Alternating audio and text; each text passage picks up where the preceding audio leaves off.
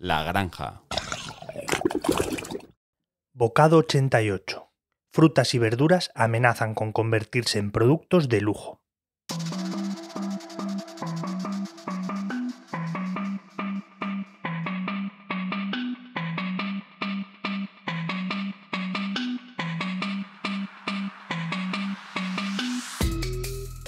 Las frutas y verduras, esos productos que deberían ser la base de cualquier dieta que se considere equilibrada, viven un momento complicado, víctimas directas del cambio climático.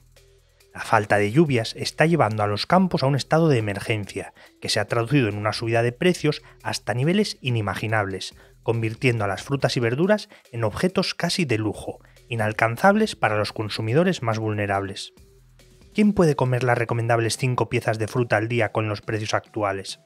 Los alimentos frescos y saludables están imposibles. Solo en marzo el precio de las legumbres y las hortalizas frescas se ha disparado más de un 25% interanual, un incremento que también sufren los preparados. El problema es que la única alternativa que maneja ahora mismo el sector primario, y en concreto el hortofrutícola, es subir precios, como medida para hacer frente a todas las coyunturas por las que atraviesan los productores, según señala Andrés Góngora, portavoz de COAG, en declaraciones recogidas por EFE. El cambio climático es responsable directo de la situación actual. Si hace unos meses el factor que determinaba tanto el precio de los cultivos como su calidad eran las heladas, el pedrisco o los periodos cortos de lluvia fuertes, ahora es la sequía la que amenaza la producción de casi toda España. Agricultores de todos los puntos de la península alertan sobre los efectos a corto y largo plazo de la falta de aguas. En Cataluña, por ejemplo, advierten de que puede no haber cultivos para el verano.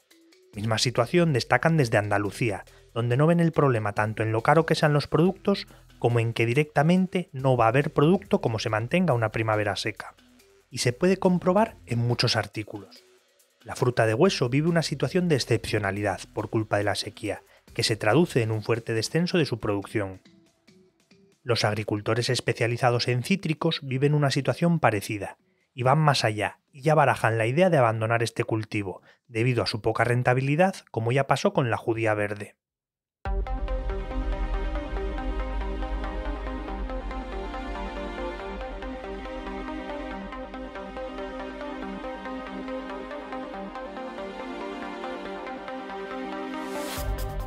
No es la primera vez que nos enfrentamos a esta sensación. El verano pasado fue notorio el caso del melón y la sandía, dos frutas populares y tradicionalmente asequibles que en momentos puntuales llegaron a alcanzar precios de hasta 12 y 13 euros el kilo. Un auténtico artículo de lujo, lastrado por el fin de la temporada en Marruecos, junto con el retraso de la cosecha durante varias semanas por las lluvias y las bajas temperaturas de primavera. ¿Podrían volver a alcanzarse precios tan altos el próximo verano? Los expertos, como Góngora, son prudentes y creen que aún es pronto para hacer estimaciones precisas, pero la tendencia general de las frutas y hortalizas frescas va encaminada a un fuerte incremento de precios. El sector tiene pocas herramientas en su mano para capear la situación. No les queda más remedio que subir los precios, ya que sin este ajuste los productores no pueden sostener el aumento de los costes de producción.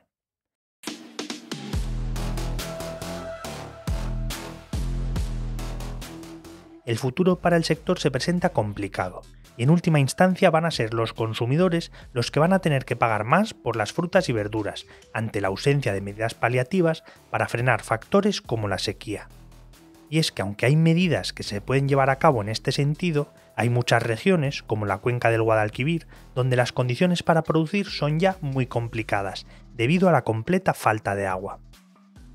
A pesar de que los periodos de sequía suelen ocurrir de forma constante a lo largo de los años, la tendencia actual camina hacia la disminución total de las precipitaciones.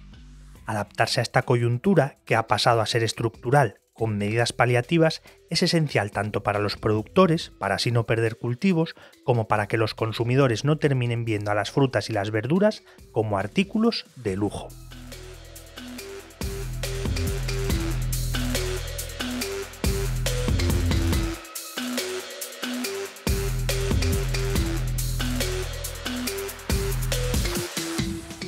La edición sonora de este capítulo es de Israel Cánovas. La adaptación del texto y la locución son mías y soy Javi Calvo.